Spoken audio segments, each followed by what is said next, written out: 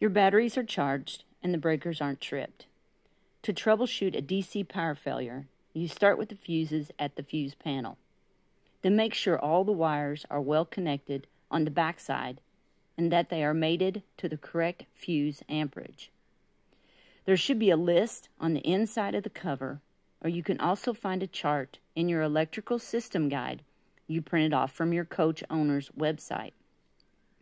If all fuses and connections are good, then refer to your wiring schematics to locate the white neutral ground wires attached to the chassis with a bolt.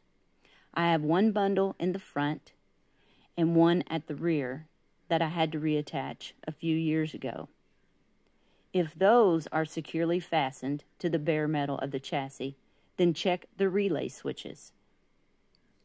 My issue was a stuck relay switch, which you can hear clicking as I touch the wire to the back of the fuse panel.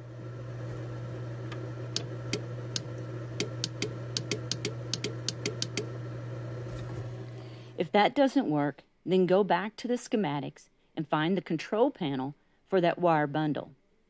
I had a loose pin on this one last year that controlled one of my jacks. Thanks for watching.